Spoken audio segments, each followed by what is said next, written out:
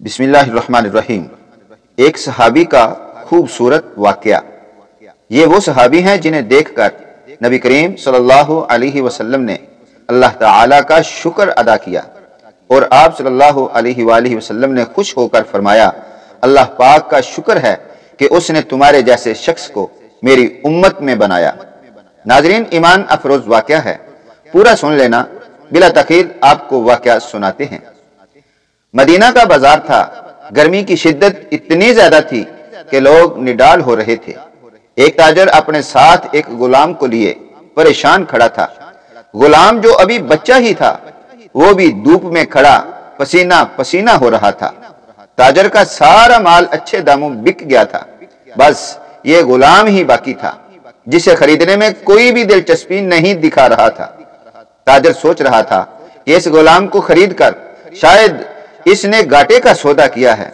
इसने तो सोचा था कि अच्छा मुनाफा मिलेगा, लेकिन यहाँ तो असल लागत मिलना भी दुश्वार हो रहा था। इसने सोच लिया था कि अब अगर ये गुलाम पूरी कीमत पर भी बिका तो वो इसे फ़ौरन बेच देगा। नाजरीन, इतने में मदीना शहर की एक लड़की, इस लड़की की नज़र इस गुलाम पर पड़ी।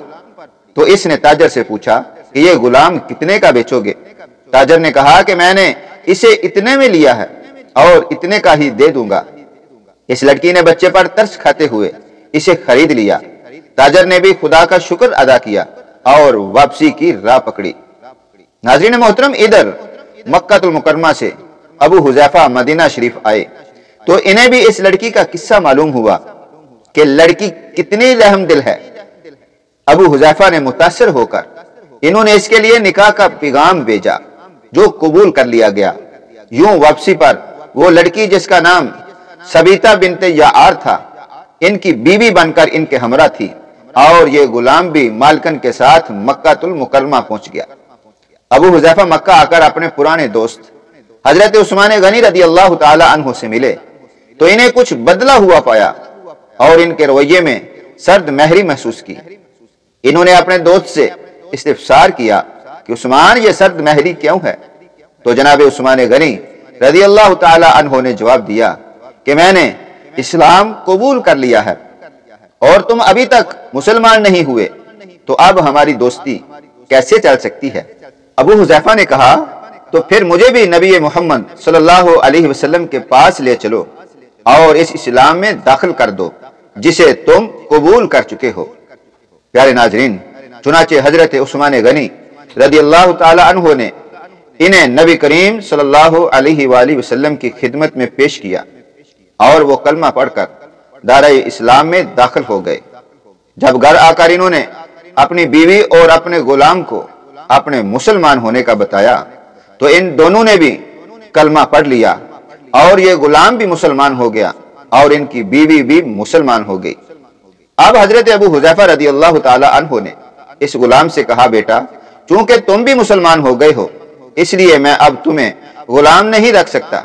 लिहाजा मेरी तरफ़ से अब तुम आज़ाद हो। गुलाम ने कहा, आका, मेरा अब इस दुनिया में आप दोनों के सिवा कोई नहीं है। आपने मुझे आज़ाद तो कर दिया, लेकिन मैं जाऊँगा कहा? मेरा कोई नहीं है। हज़रत अबू हुजैफा रदी अल्लाह ने इस गुलाम को अपना बेटा बना लिया और फिर अपने पास ही रख लिया। नाजरीन मोहतरम गुलाम ने कुरान पाक सीखना शुरू कर दिया। और कुछ ही दिनों में बहुत सा कुरान पाक याद भी कर लिया। और इसके साथ साथ वो जब कुरान शरीफ पढ़ते तो बहुत खूबसूरत लहजे में पढ़ते थे। फिर वक्त आया, हिजरत के वक्त नबी करीम सल्लल्लाहु अलैहि वसल्लम से पहले जिन सहाबा ने मदीना शरीफ की तरफ़ हिजरत की, इनमें हज़रत उम्र फारूक रदी अल्लाह तु के साथ, हज़रत अबू हुजैफा रदी अल्लाह तु और इनका ये ले पालक बेटा भी था। ये मदीना शरीफ पहुंचकर, जब नमाज़ के लिए इमाम मुकर करने का वक्त आया तो इस गुलाम की खूबसूरत तिलावत और सबसे ज़्यादा कुरान पाक हिफ्स होने की वजह से इन्हें इमाम चुन लिया गया। और इनकी इमामत में हज़रत उम्र फरूक रदी अल्लाह तु जैसे जलील कदर सहाबी भी नमाज़ अदा किया करते थे। नाजरीन मोहतरम, मदीना शरीफ के यहूदियों ने जब इन्हें इमामत करवाते देखा तो हैरान हो गए कि ये वही गुलाम है जिसे कोई खरीदने के लिए तैयार ना था। आज देखो कितनी इज़्ज़त मिली है कि मुसलमानों का इमाम बना हुआ है। अल्लाह पाक ने इन्हें खुश आवाज़ इस कदर बनाया था कि जब आयात कुरानी तिलावत फरमाते तो लोगों पर एक महवियत तारी हो जाती और राहगीर ठटक कर कुरान पाक की तिलावत सुनने लगते थे। इसी तरह एक दफ़ा उम्मुल मोमिनीन हज़रत बीबी आशा सदीका रदी अल्लाह तहा को रसूलुल्लाह सल्लल्लाहु अलैहि वसल्लम के पास हाजिर होने में देर हो गई। आप सल्लल्लाहु अलैहि वसल्लम ने तखीर की वजह पूछी तो उम्मुल मोमिनीन, हज़रत आशा शरीका रदी अल्लाह तहा बोली कि एक कारी तिलावत कुरान कर रहा था। इसके सुनने में देर हो गई और खुशहानी की इस कदर तारीफ़ की कि आ हज़रत सल्लल्लाहु अलैहि वसल्लम खुद चादर संभाले हुए बाहर तशरीफ़ ले आए। देखा तो वो बैठे तिलावत कर रहे हैं। आप सल्लल्लाहु अलैहि वसल्लम ने खुश होकर फरमाया, अल्लाह पाक का शुक्र है कि उसने तुम्हारे जैसे शख्स को मेरी उम्मत में पैदा फरमाया है। नाजरीन मोहतरम, क्या आप जानते हैं कि ये खुशकिस्मत सहाबी कौन थे? इनका नाम हज़रत सालम रदी अल्लाह तु था, जो सालम मौला अबू हुजैफा रदी अल्लाह तु के नाम से मशहूर थे। इन्होंने जंग मोता में जाम शहादत नोश किया। अल्लाह की करोड़ हाँ रहमतें नाजल हुई इन पर।